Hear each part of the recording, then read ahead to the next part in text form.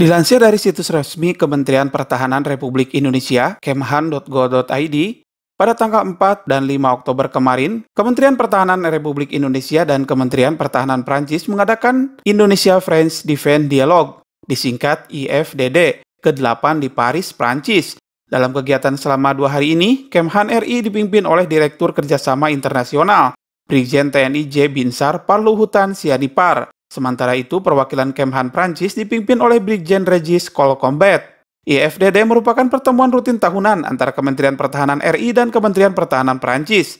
Dalam pertemuan tersebut dibahas masalah strategis kedua negara di regional maupun lingkup global bidang pertahanan, kerjasama militer kedua angkatan bersenjata, serta bertujuan untuk meningkatkan kerjasama dan kemitraan strategis dalam industri pertahanan. Pada hari kedua, dilaksanakan kunjungan ke base 113 Saint-Dizier yang merupakan pangkalan udara jet tempur canggih asal Prancis, Dassault Rafale. Wah-wah, sepertinya kontrak pembelian sebanyak 30 unit jet tempur canggih Dassault Rafale akan segera masuk babak final. Mungkin kontrak efektif untuk jet tempur ini akan segera terlaksana. Mari kita doakan agar jet tempur ini bisa secepatnya memperkuat armada TNI Angkatan Udara.